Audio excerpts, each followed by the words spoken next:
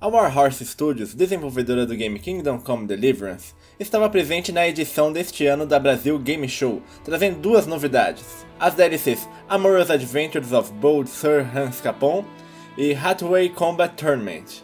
A primeira DLC traz a história de Sir Hans Capon, que é apaixonado pela filha do açougueiro, quer conquistar o coração da dama e pede ajuda para Henry, protagonista do game.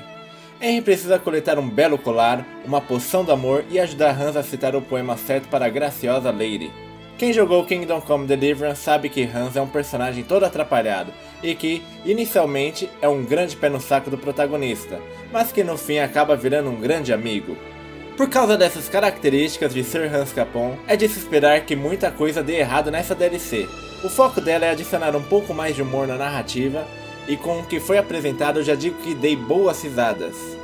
Essa DLC só poderá ser acessada quando você completar a missão secundária do jogo principal, que transforma Hans e Henry em grandes amigos, ou seja, a partir do meio do jogo. Já a outra DLC apresenta o modo torneio implementado no jogo. Ela será uma DLC gratuita com uma pequena quest para liberar o campeonato que consiste em batalhas contra três competidores em duelos de melhor de três. Ou seja, duas vitórias contra o oponente garantem sua participação para a próxima fase. O difícil desse modo vai ser pelo seguinte. No primeiro embate você pode escolher a arma de preferência, e claro, você vai optar por aquela que você tem mais aptidão. No próximo duelo, o oponente escolherá a arma, e ela pode ser alguma que você tem pouco nível de habilidade. Então o foco é ser bom no combate e rápido nos dedos para conseguir vencer a competição. Tivemos a oportunidade de entrevistar o gerente de relações públicas da Warhorse, Toby, que falou um pouco sobre o game, seu desenvolvimento, sobre as DLCs apresentadas e também sobre o futuro do game. Você pode conferir agora a entrevista completa em vídeo.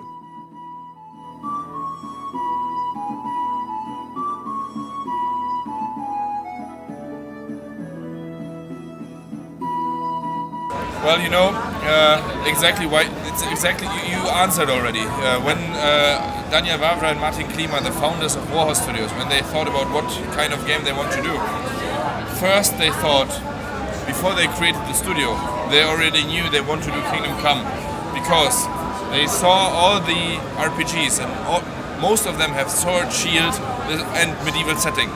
Oblivion, Skyrim, even Elex, if you know Elex. It's, a, it's also sci-fi but with sword and shield.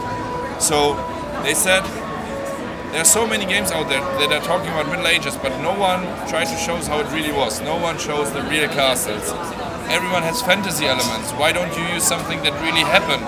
So they decided let's do a game that is based on a true story that shows Middle Ages how they were, or at least a good interpretation of the Middle Ages, and let's try to do something different.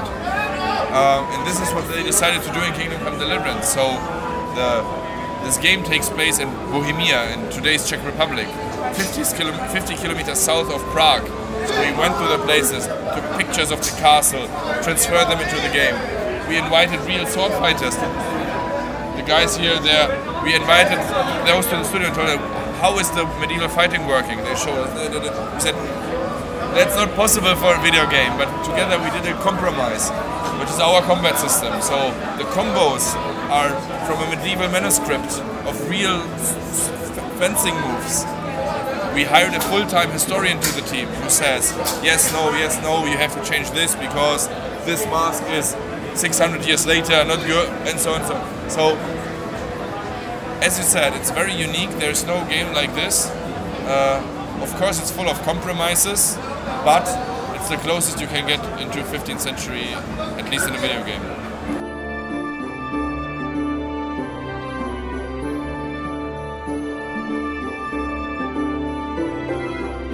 No, the hardest system was not the combat system. Uh, the hardest uh, thing in the entire development is that we had the crazy idea that every person in the game has a daily cycle. So everyone they are not randomly spawned. Like if you take assassin's creed or something the cities look like full of people but they are spawning and they are just walking and then they despawn again. In kingdom come deliverance no one is spawning. They're all there the entire time doing something.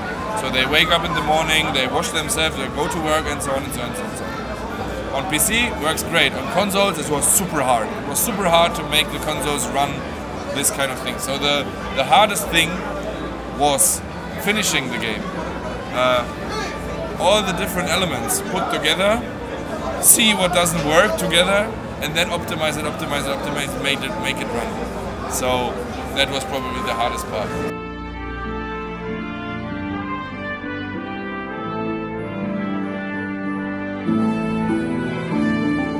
Different things. Uh, I liked, for example, a lot scouting the areas, scouting the places. So I was there. I'm PR guy, but still I make pictures for social media and so on. So it was for me fascinating that the people from the area were like with big eyes and yeah, and, and they were when they heard that they want to. For example, there's a big monastery in the game, which today is still existing, and people are visiting it. They pay money and they can look around, but it was partially destroyed and changed. We are building it back to the time how it looked in the year 1403. And when the people heard this from this church, they are not into video games, but when they heard that we are doing this, they were like, wow. And they let us go everywhere, at, at every corner of the church, people, where no one else can go, into the bell tower, everywhere. And this was super fun to scout the area, to see the enthusiasm from people who are not into video gaming.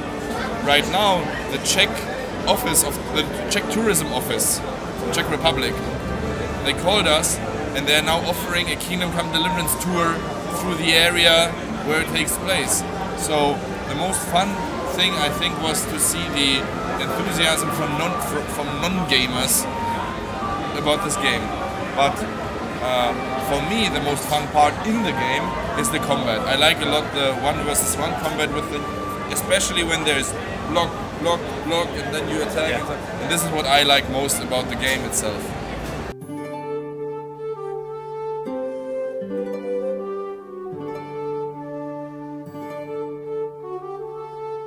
No, it's it's only story elements. So you have three big quest lines coming with the Amorous Adventures. The new feature, and that's why it's gray. The new feature is the tournament mode. So that's a repeating sandbox event. Yeah, but there's not not a new element like I don't know crossbows. There are no crossbows in the game. We don't add them. So it stays as it is. No new area, but more questing, more fun, more things to do, uh, more uh, story elements, and with the tournament, a new event to attend.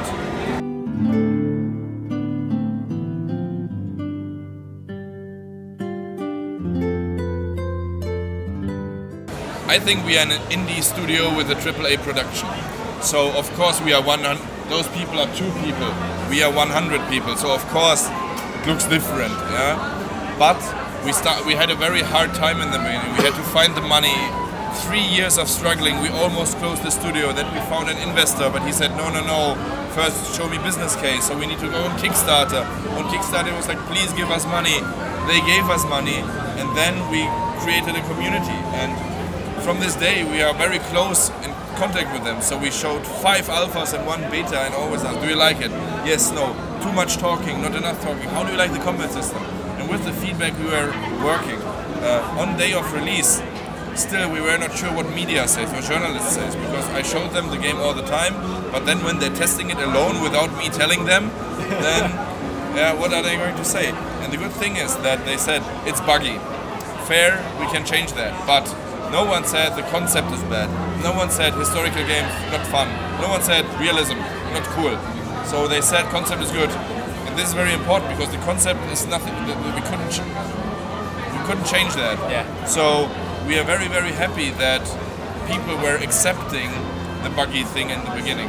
That's maybe the indie thing. We tried to be very open to them, tell them, and they said it's okay, it's okay. So yes, of course, we are very happy for the reception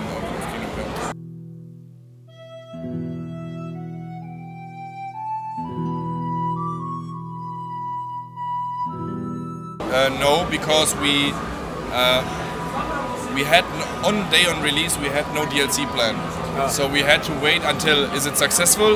Yes. Okay, we can go on. So our uh, company politics is step by step. So right now we finished Hans Capon. Now we start working on Band of Bastards. After this, we started working on Woman's Lot. So right now, no other plans and just doing step by step by step by step. And then we don't know a release date because we just started to work on it. But probably, I don't know, three months, but this is just a wild guess, so. Okay.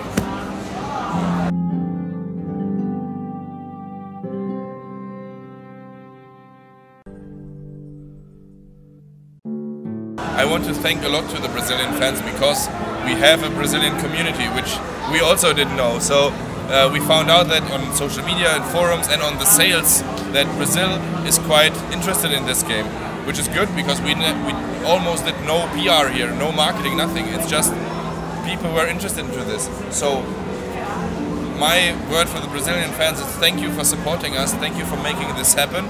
Because of them, we can be here, and the other way around. Uh, keep supporting us. We're bringing new stuff, and if they want to see how the Middle Ages looked like, because you didn't have this kind of stuff here yeah. in, in Brazil, then Kingdom Come is your game because there you can feel, see how the the knights uh, behaved and worked and fight and so on. Okay. Thank you very much. Thank you very much. Kingdom Come Deliverance já está disponível para PC, PlayStation 4 e Xbox One, e as DLCs serão lançadas no dia 16 de outubro desse ano.